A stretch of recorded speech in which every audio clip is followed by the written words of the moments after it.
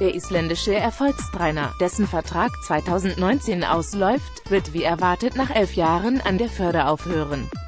Das bestätigte der THW-Aufsichtsratsvorsitzende Reinhard Ziegenbein der Sportbild.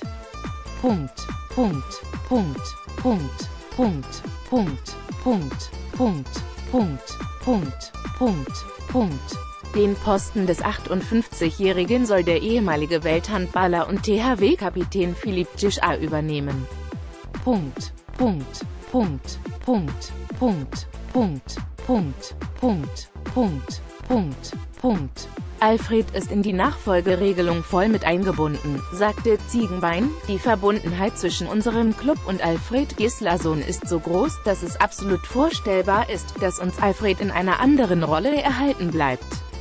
Gislason, dienstältester Trainer der Bundesliga, hat den Club zu sechs Meistertiteln, fünf Pokalsiegen und zwei Triumphen in der Champions League geführt. Punkt, Punkt, Punkt, Punkt, Punkt, Punkt, Punkt, Punkt, Punkt, Punkt, Punkt. Der tschechische A35 wird ab Sommer Co-Trainer von Gislason und soll vor seiner Beförderung Erfahrungen sammeln. Der frühere Rückraumspieler beginnt im Mai mit dem A-Lizenz-Lehrgang. Punkt, Punkt, Punkt, Punkt, Punkt, Punkt, Punkt, Punkt, Punkt, Punkt, Punkt, Punkt. Die Entscheidung für Philipp war keine Bauchentscheidung, stellte Ziegenbein klar.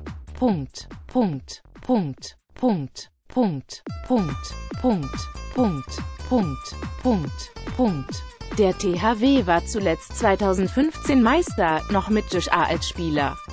Der in dieser Spielzeit häufig enttäuschend aufgetretene Tabellenfünfte droht, die Qualifikation für die Champions League zu verpassen. Punkt, Punkt, Punkt, Punkt, Punkt, Punkt, Punkt, Punkt, Punkt, Punkt, Punkt, Punkt.